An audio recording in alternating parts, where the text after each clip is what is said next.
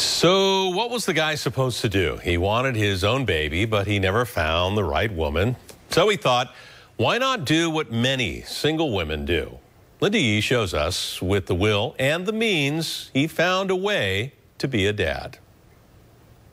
Ella. He's impossibly cute, but even more extraordinary is how eight month old Santino came to be. Say hi.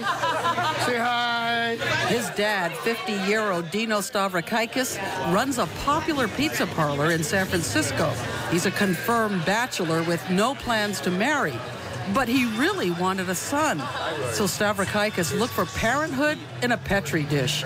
He needed two women, one for her eggs, the other to carry his baby. The hard part was at the beginning. Like I said, I was not the internet savvy. But once I got a grip of it, I was so determined that I was like a horse with, with the blinkers in the Kentucky Derby.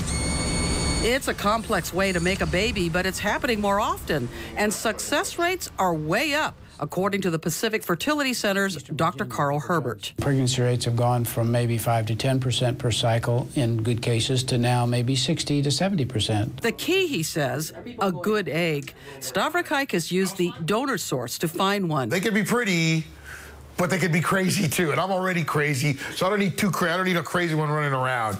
So you know, and I asked her questions. You know, what were her sleep patterns? What was she like as a baby? Just as much information as I could get. You know, You were designing your son.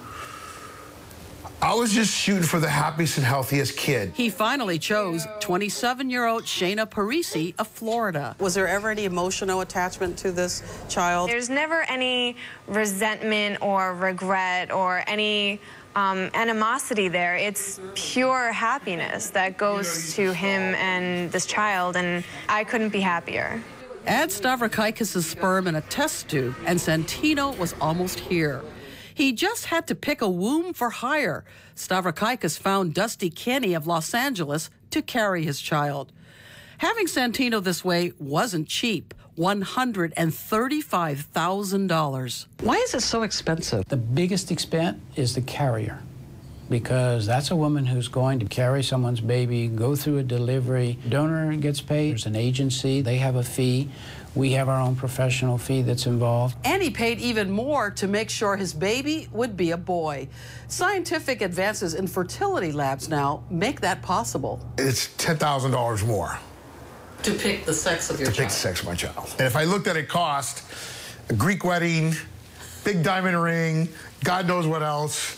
You know, so I'm about I'm way ahead of the game right now. He has no regrets. Oh, I got pee more, I got pee more. Hey, got... Santino's family includes the customers of his dad's pizza parlor. Everyone needs a little Santino. Stavrakakis isn't shy about telling everyone how Santino's life began. He can't wait to let Santino know. I want him to know everything, and he's really well adjusted. he's an old soul. Ella got. Ella. In San Francisco, Linda Yee, CBS 5. Cute kid. Dino isn't sure if he's going to have another one, but there is another embryo frozen just in case.